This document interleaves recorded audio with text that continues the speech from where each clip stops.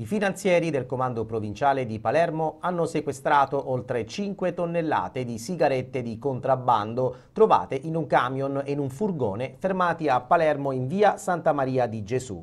Sono stati arrestati i due conducenti, un 31enne di Salerno e un 45enne palermitano.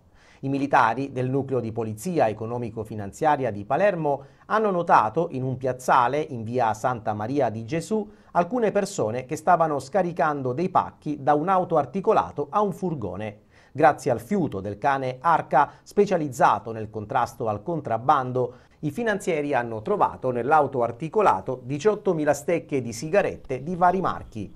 I tabacchi, ovviamente sequestrati, avrebbero fruttato al dettaglio ricavi per circa 800.000 euro. I due conducenti, come detto, sono stati arrestati. Il GIP ha poi disposto il carcere per il 45enne palermitano e i domiciliari per il 31enne di Salerno.